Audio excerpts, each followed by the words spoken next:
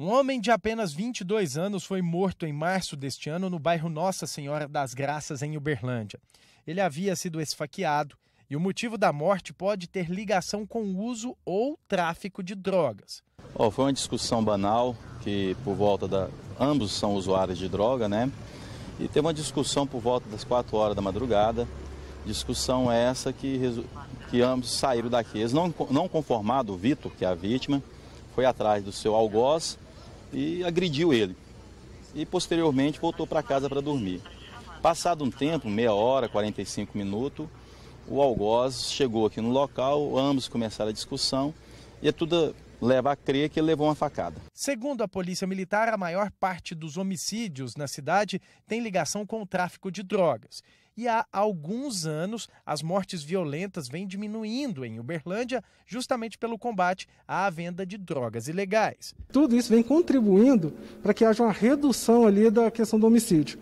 Então, nós tirando de circulação o autor, ou tirando de circulação o objeto né, com o qual ele vai praticar o crime, que é a arma de fogo, isso contribui né, para que os números de homicídio venham a reduzir. Em 2020, a tendência também é de queda. Até junho deste ano, houve uma redução de 44% nas mortes violentas. Foram 15 registros em 2020 contra 27 no primeiro semestre de 2019. As tentativas de homicídio também apresentaram queda.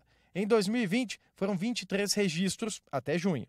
No primeiro semestre de 2019, houve 36 tentativas.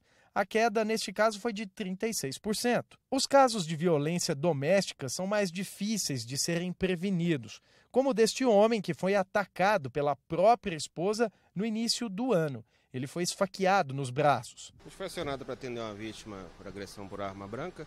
Chegando no local, ele estava consciente, orientado, sentado à calçada.